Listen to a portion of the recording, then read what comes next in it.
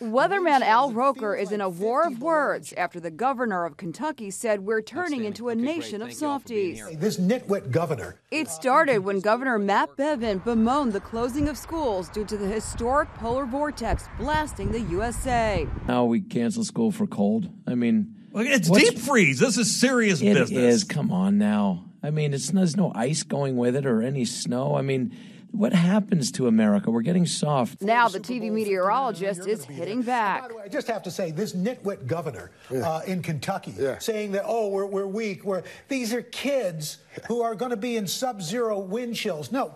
Cancel school. Stop it. You know, adults, if they want to be out there, that's great. These are our children. You know, I'm glad you're not a teacher. Huge parts of the nation continue to suffer from life threatening temperatures. Behind me, the fountain is frozen.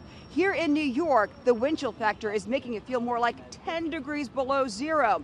There's a town in northern Minnesota where the wind chill made it feel like minus 77 degrees. That's colder than the planet Mars. This was the surreal scene on Lake Michigan.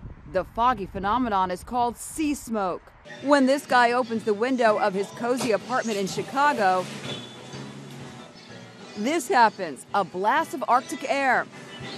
The weather is causing chaos on the roads. This trucker swerved off the highway and just managed to stop before he became part of a terrible pileup. I about just got caught in a giant wreck. And this young woman from Iowa made the mistake of going outside with her hair still wet.